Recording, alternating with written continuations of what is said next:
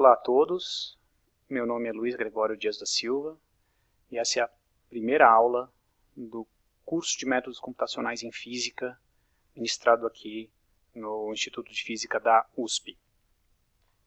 Eu queria só relembrar a todos os objetivos da disciplina. Então, o principal objetivo da disciplina é apresentar métodos computacionais que são utilizados na simulação de sistemas físicos, e esse vai ser o nosso foco, a simulação de sistemas físicos e a resolução numérica de problemas que aparecem não só em física, mas também em outras áreas afins de exatas, como astronomia, engenharia, economias. Todas essas utilizam métodos numéricos no, na construção do conhecimento em cada uma dessas áreas.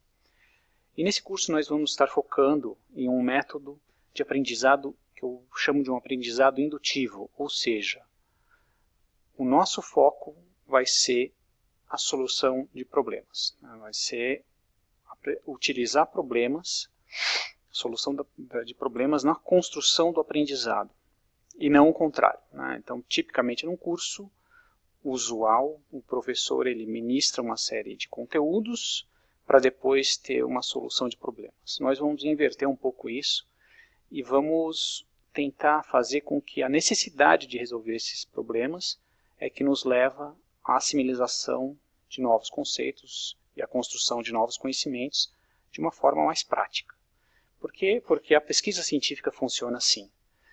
Embora você tenha já um arcabouço, né, uma base teórica, uma série de ferramentas que você conhece, na sua pesquisa científica aparecem, por definição, problemas que não estão resolvidos, que às vezes você não sabe como resolvê-los. E isso te leva, essa necessidade de resolver esses problemas te leva a buscar novos conceitos, a buscar novas técnicas, a buscar construir um conhecimento novo. Então esse é o, é o foco central do processo de aprendizado nessa disciplina. E claro, nós vamos estar sempre falando da solução de problemas através de algoritmos, algoritmos e programas de computador. Então é muito importante, já na, nessa primeira aula, a gente ter clara qual que é a diferença entre os dois. Então, um algoritmo é os, são os passos, ou o conjunto de passos para você realizar uma tarefa, seja ela um cálculo, seja ela um, um, uma fatoração, seja ela algum outro processo que você tenha que resolver. Já um programa é uma série de instruções dentro de, uma, de um certo parâmetro, de uma certa sintaxe, que você passa a uma unidade de processamento, no caso um computador, mas pode ser uma outra unidade, como um tablet, um smartphone, que são passadas numa, numa, linguagem em que essas possam ser entendidas por, pelo computador ou por, pelo seu smartphone para implementar um algoritmo. Então, Note que o algoritmo em si ele é independente do programa. Ele pode, inclusive, ser é, implementado sem a ajuda de computador. Um exemplo é, se você pergunta para o vigia aqui do Instituto como eu chego à ala 1, o vigia vai te fornecer um algoritmo. Ele vai falar, você entra à, esquerda, aqui, segue nesse corredor aqui, você vai chegar à ala 1, que vai ser implementado por você. E resolve o seu problema, que é chegar na, né, naquele ponto. Outros exemplos que estão aqui, por exemplo, multiplicação. A gente aprende na escola resolver uma multiplicação como essa que está colocada aqui, né, através de um algoritmo manual. Nesse curso, nós vamos focar na resolução de problemas físicos através de algoritmos em um programa de computador em um ambiente bastante específico, que é o MATLAB. Então, o MATLAB é um ambiente de computação que foi desenvolvido por uma empresa chamada MathWorks. E ele vem de um pacote de computacional que trata de problemas de, de álgebra linear em, em geral, chamado LAPACK, de forma que o MATLAB, essencialmente, ele tem uma, uma na sua matriz, né, na, sua, na sua gênese, uma forte influência de de sistemas lineares. Tanto que o nome MATLAB deriva de Matrix Laboratory, que é um, é, algo que faz com que você possa, leva a ideia que você possa manipular matrizes de forma bastante eficiente. E isso é bastante verdade.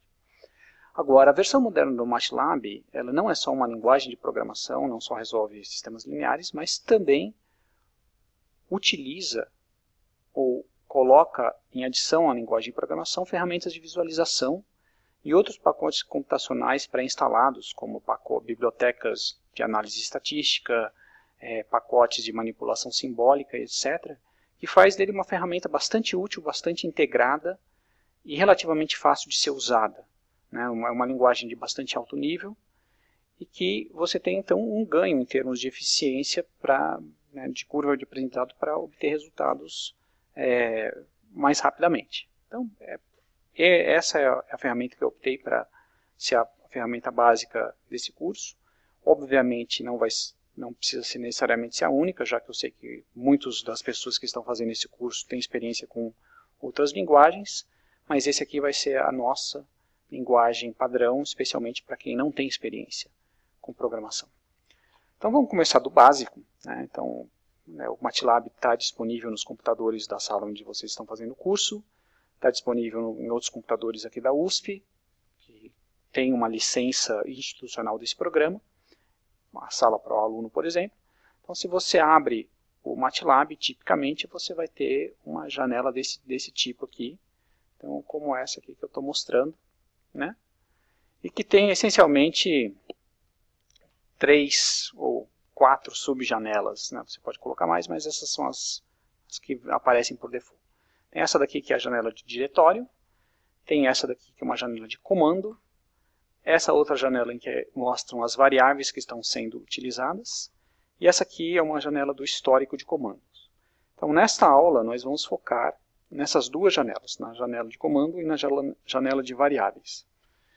Então, nessas duas janelas, que aparecem aqui, por exemplo, você pode digitar os comandos que o MATLAB vai, as instruções que o MATLAB vai entender e processar. Então, por exemplo, é, se eu venho aqui na, na janela e digito o famoso 2 mais 2, aparece aqui a resposta como sendo 4. Se eu digito alguma outra né, operação matemática, 4 sobre 5, aparece a resposta. Se eu quero a raiz de 2, eu uso o comando square root, sqrt, de 2, e isso me vem, então, a resposta. Então, aqui nós estamos usando o MATLAB da forma mais simples possível, que é essencialmente transformá-lo numa supercalculadora.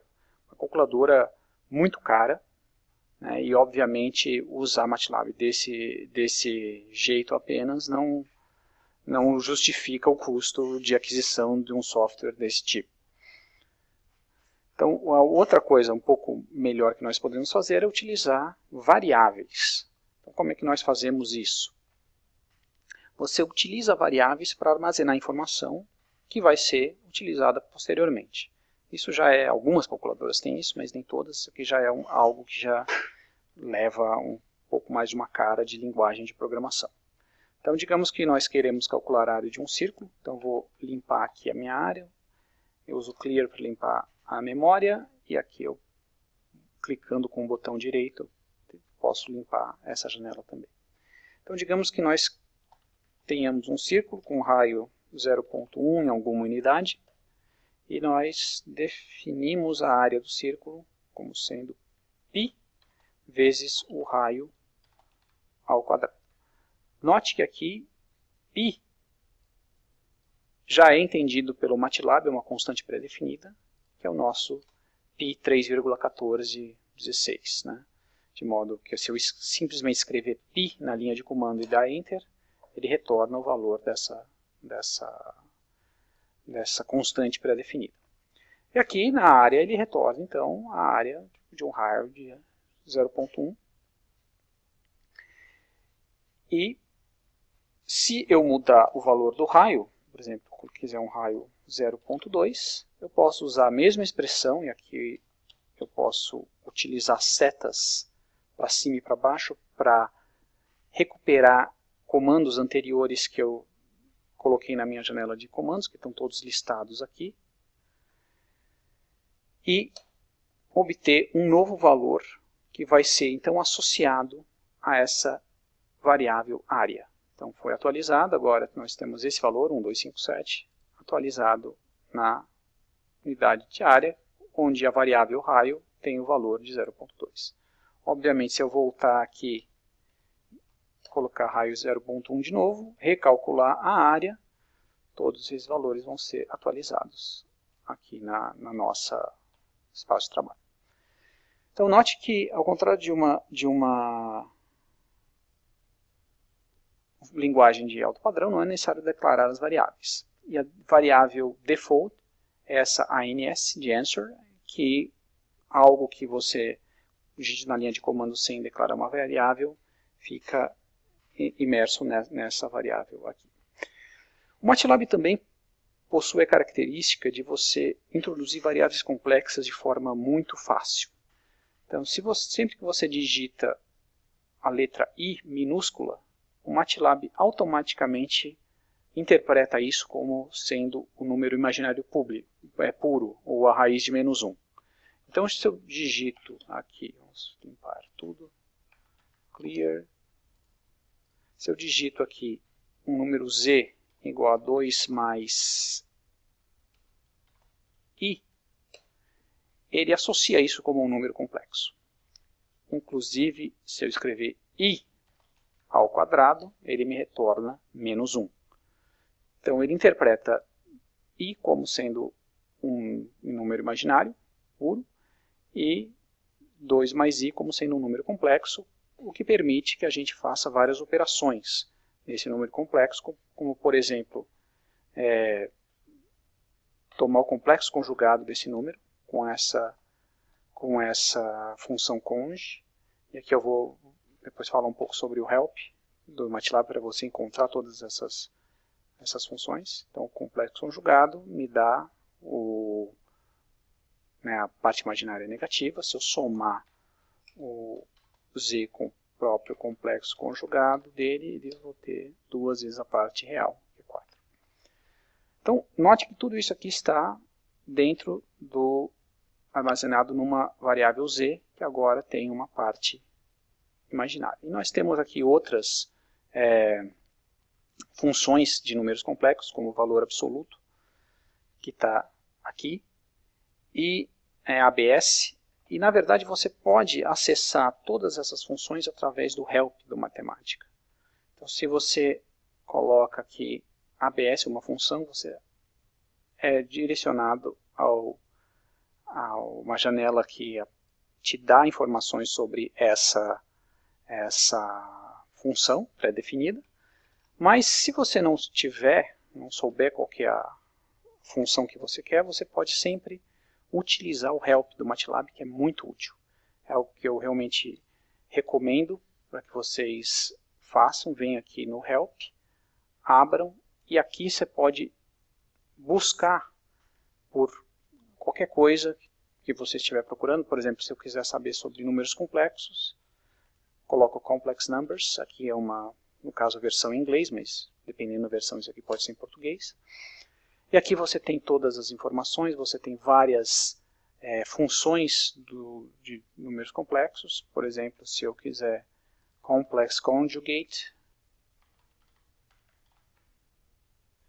eu abro aqui e tenho uma, uma a definição da sintaxe de como usar isso aqui. Então isso é algo que eu recomendo todo mundo ter em mente para usar que é bastante útil ao longo do curso e em diante.